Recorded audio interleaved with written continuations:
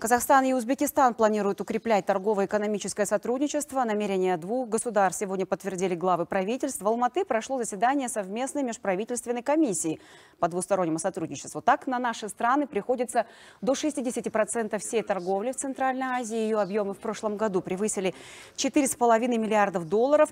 В планах реализация 69 совместных проектов. Это позволит открыть свыше 14 тысяч новых рабочих мест. Также предусмотрено увеличение взаимодействия взаимных поставок электротехнической продукции, рост грузооборота, совместные шаги по цифровизации и автоматизации участков водораспределения на территориях двух стран. По итогам встречи главы Кабминов подписали протокол 21-го заседания совместной межправительственной комиссии по двустороннему сотрудничеству. Узбекистан является одним из крупнейших торговых партнеров Казахстана. По итогам прошлого года товарооборот между странами составил 4,5 миллиарда. За несколько месяцев этого года объем превысил 1,2 миллиарда. Главами двух государств поставлена задача по доведению этого показателя до 10 миллиардов долларов.